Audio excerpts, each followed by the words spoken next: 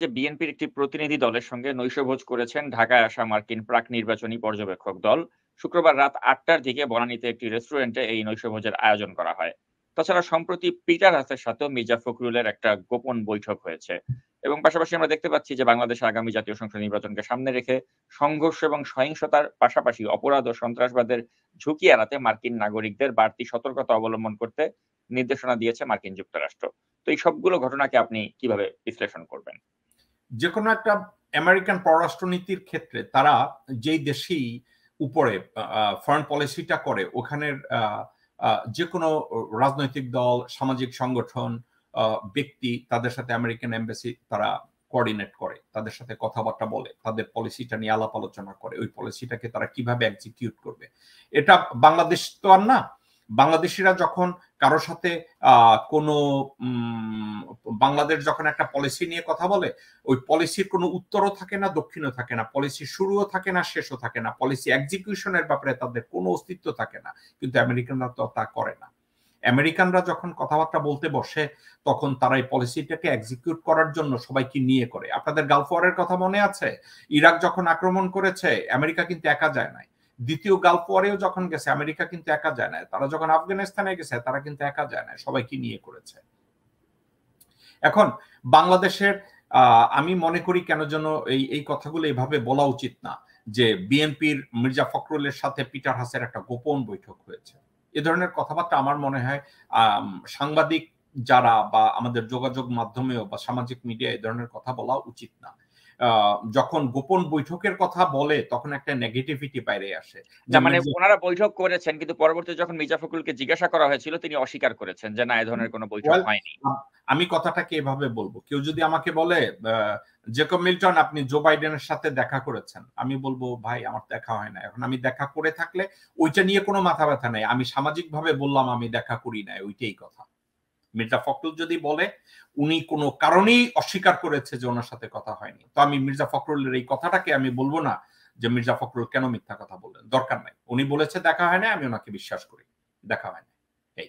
তবে আরও একটা কথা বলি, কোনো ডিপ্লোম্যাটরা যদি দেশের রাজনৈতিক নেতা বা পলিসি মেকারদের সাথে কোনো একটা মিটিং হয়, এতে দোষের কিছু নাই যদি এটা প্রো বাংলাদেশি প্রো কান্ট্রিজ আলাপ আলোচনা হয়। এখন মির্জা ফখরুল যদি আমেরিকান এম্বাসি অথবা যে কোনো অ্যাম্বাসেডারের সাথে কথা বলে, বাংলাদেশের ডেভেলপমেন্ট নিয়ে কথা বলে ডেভেলপমেন্টের মধ্যে অ্যাকাউন্টেবিলিটি নিয়ে কথা বলে বাজেট নিয়ে কথা বলে, একটা পলিসি নিয়ে কথা বলে দের ইজ নাথিং রং এখন মির্জা ফখরুল যদি পিটার হাসের সাথে বসে বিএনপির পজিশনটাকে ব্যাখ্যা করে, আমি বলব দ্যাটস ওয়ান্ডারফুল ওয়াই নট কিন্তু কোনো একটা সময় হাসিনা শেখ যখন বিএনপি গভর্নমেন্ট গঠন করল, নব্বইয়ের দশকে হাসিনা শেখ প্রত্যেকটা এম্বাসিতে গিয়ে পা ধরে ধরে বলেছে, এই গভর্নমেন্টের সাপোর্ট করেন না, এদেরকে কোনো সাহায্য দিয়েন না। সে চিঠি লিখেছে, ওই চিঠির কপি আমি জেকব মিল্টনের কাছেও আছে, উনি ইউরোপিয়ান ইউনিয়নকে চিঠি লিখেছে আমেরিকান কংগ্রেসম্যানদেরকে চিঠি লিখেছে, বাংলাদেশে কোনো সাহায্য করেন না। আজকের উনি বলে বিএনপি এবং জামাত বিদেশিদের পা ধরে ক্ষমতায় আসার জন্য। অথচ হাসিনা শেখ নিজে এই কাজগুলো, দেশ বিরোধী কাজগুলো কন্টিনিউয়াসলি করেছে। কন্টিনিউয়াসলি করেছে। এসব বাংলাদেশি ভাই বোনেরা, আমি যদি এই ওই অনেক সময় কিছু কিছু লোকজন আছে, আমি দেখেছি, আমাকে ওই ক্লিপগুলো অনেকে দেখায়। আপনারা বাংলাদেশে যারা সামাজিক মিডিয়ায় অ্যাক্টিভ আপনারা একটা কাজ করেন, আপনারা ওই পুরানা কাগজপত্রগুলো টেনে, হিচড়ে কমেন্টে জাস্টিফাই করার চেষ্টা করেছেন, এইটা করে, ওইটা করে, এইটা করে। ভাই এটা ভালো জিনিস। আপনারা একটা জিনিস মনে রেখেছেন। এমন অনেকগুলো সাবজেক্ট আছে যার স্পেসিফিক উদাহরণগুলো আমার নিজের কাছেই আছে। কিন্তু আমি এগুলো নিয়ে বারবার ওই আপনাদেরকে পোস্ট করব না। দেখেন হাসিনা কি বলেছেন দেখেন ওইটা কি। এগুলো নিয়ে আমার দরকার নাই। এগুলো আমার সময়ের অপচয়। কারণ কি জানেন? আমি তার চরিত্রগুলো ভালোভাবে দেখছি। আমি জানি। আমি জানি। আমি একবার বলেছিলাম এই হাসিনা শেখ, বাংলাদেশে আমি এই আমেরিকান কয়েকজন ইনভেস্টরদের নিয়ে বাংলাদেশে একটা ব্যাংকিং লাইসেন্সের জন্য যাব, হাসিনা শেখ ওইখানে। আজকের কথা না। সাতানব্বই সালে। সে ওইখানে চার কোটি না পাঁচ কোটি টাকা জমা করাই দেওয়ার কথা বলছিল। হাসিনা শেখ নিজে। এই কথাটা অন্য কেউ বলে না এবং আমার চোখের সামনে উনি পুতুলের যে জামাই মিতু আছিল, ওই ইলিশের কড়া ইলিশ ভাজি খাইতে চাইছিল। এটা নিয়েও ব্যাক ব্যাক করছে, আলাপ আলোচনা করছে। এই বেটির কোনো ক্লাস নাই। এই নিজ চোখে দেখছি। এগুলো অন্য কেউ দেখায় না আমার। সেগুলো নিয়ে কথা বলার কোনো প্রয়োজন নাই। তো আমি যে কথা এখন আপনাদের সামনে অনেক সময় কথা প্রসঙ্গে বলি যে একটা রেফারেন্স হিসাবে আমি যদি কোনো একটা বিষয়কে টেনে আনি, এটা জাস্ট আমি বলতেছি। এখন আমার কথা কি? I am not going to put a gun into someone else's head that আমি যেটা করি আমার এটা বিশ্বাস করেন। বাংলাদেশি ভাই বোনেরা, আমি আর সাকিব প্রতি সপ্তাহে এই দুই ঘণ্টার মধ্যে আমরা চেষ্টা করি, একটা সপ্তাহ ধরে আমরা যে তথ্যগুলো অর্জন করেছি, আমরা আদায় করেছি, ডানে বায়ে করেছি, এই করেছি, সেই করেছি, ওইগুলো আপনাদের সাথে আমরা শেয়ার করি। কীভাবে ওই তথ্যগুলো পেয়েছি? ভাই, সাকিব একটা টেলিভিশন স্টেশনের সিনিয়র এক্সিকিউটিভ তার সোর্স সাকিব আপনাদের সবার সামনে দিবে না, কারণ এটা সাকিবের পার্সোনালিটি সাকিবের পেশাগত দিক।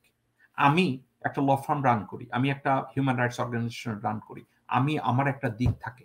যেগুলো দিয়ে আমি আমার চ্যানেলে বা সোর্সে একটা জিনিসকে আমরা বের করি আনি। তো আমরা আপনাদেরকে আমরা ওই তথ্যগুলো আপনাদের সামনে দেই যে জিনিসগুলো এই। তো এটা যখন আপনাদেরকে দেই, আপনারা নিজেরা যদি নিজেদেরকে স্যাটিসফাই করতে চান, আপনাদেরকে আমি রিকোয়েস্ট করব, আপনারা নিজেরাও একটু রিসার্চ করুন যেই রিসার্চটা সাকিব করে, যেই রিসার্চটা আমরা করি। মানে আপনারা আমার অর্জন দিয়ে, আমার রিসোর্স দিয়ে আপনাকে আপনি স্যাটিসফাই করবেন। আপনি তো ভাই, আমি তো আপনার হয়ে কাজ করি না। আমি পুরো বাংলাদেশের হয়ে কাজ করি। হাওয়েভার আমি ব্যাক করে যাই।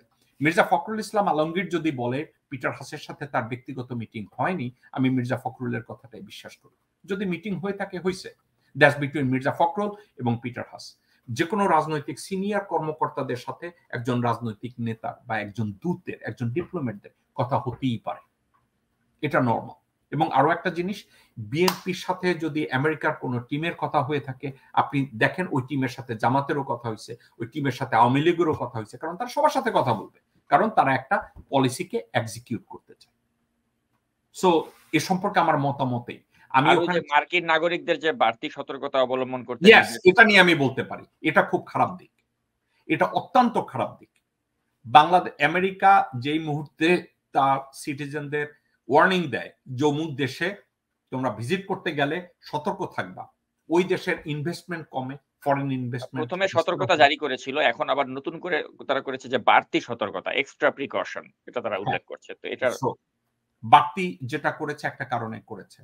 আমেরিকান গভর্নমেন্ট শিওর হয়ে গেছে হাসিনা শেখ এখন বাংলাদেশে জঙ্গি তৎপরতা চালাবে অনেক মন্দির ভাঙবে এবং এগুলা করবে আওয়ামী লীগ ছাত্রলীগ যুবলীগ কুত্তা লীগ হারামজাদা লীগ পেস্ট লীগ এরা লীগের আর অভাব নাই, এরা করবে। করে এর দায়ভার বিএনপি এবং জামাতের উপরে দেওয়ার চেষ্টা করবে। এবং আমি ওই দিন আপনারা আমাকে জিজ্ঞাসা করেছেন যে, এই কথাটাকে আমি এমনি আলোচনা প্রসঙ্গে টেনে আনি, সাকিব। গোবিন্দচন্দ্র প্রামাণিককে আমি অফ দ্য ক্যামেরা জিজ্ঞাসা করেছিলাম যে, বাংলাদেশে তো এখন হিন্দু মন্দির বা এগুলোর উপরে আক্রমণ হবে? গোবিন্দ প্রামাণিক সরাসরি আমাকে বলছে যে এই মুহূর্তে হিন্দু মন্দিরের উপরে যতগুলো হামলা হবে, এর পিছনে থাকবে যুবলীগ, আওয়ামী লীগ এবং বর্তমান ক্ষমতাসীন দল। আমি বললাম, কেন করবে তারা? তাদেরকে না আপনারা ভোট দেন? উনি নিজে আমাকে বলেছে, ভাই, এখন ক্ষমতায় থাকার জন্য, ভারতের কৃপা পাওয়ার জন্য তারা এই কাজগুলো করবে। তো এখন এই কাজগুলো করবে। আমি আমি মনে করি যে এই মুহূর্তে বাংলাদেশকে জঙ্গি রাষ্ট্র বানানোর বাইরে হাসিনা শেখের ক্ষমতায় থাকার আর দুই কষ্টের কথাটা হচ্ছে হাসিনা শেখ ফ্রাস্ট্রেটেড হচ্ছে একটা কারণে। আমেরিকানরা আর বিশ্বাস করে না যে বাংলাদেশে কোনো জঙ্গি আছে এবং জঙ্গিবাদ আছে।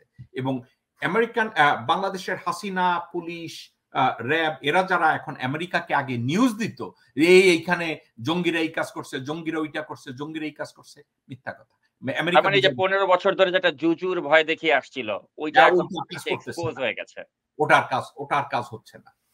ঠিক আছে? তো এই জন্যই এই সমস্যাটা এদিকে হচ্ছে। তো আমেরিকানরা বাংলাদেশে গিয়ে কারোর সাথে যদি কথা বলে থাকে আমি বলব ফ্যান্টাস্টিক এটা আমেরিকান ফরেন পলিসি এক্সিকিউশনের ক্ষেত্রে এটা শুধু বাংলাদেশ না পৃথিবীর যে কোনো প্রান্তে গিয়ে করে। এবং এটা তারা that's the way American foreign policy they execute so therefore we should focus on to the rumour the people আমরা কি কি করি? এই এইখানে একটা ছড়াই দিলাম, এইখানে একটা রিউমার ছড়াই দিলাম। আর এই রিউমার ছড়ানোতে ভাই আমি খুব একটা ভালো না। ওখানে যদি এই ধরনের কথাবার্তা হয়ে থাকে, আলহামদুলিল্লাহ। আর যত তাড়াতাড়ি এই ভারতীয় চুতমারানিকে ক্ষমতা থেকে সরানো যাবে, বাংলাদেশের সতেরো কোটি, বিশ কোটি মানুষ বেঁচে যাবে।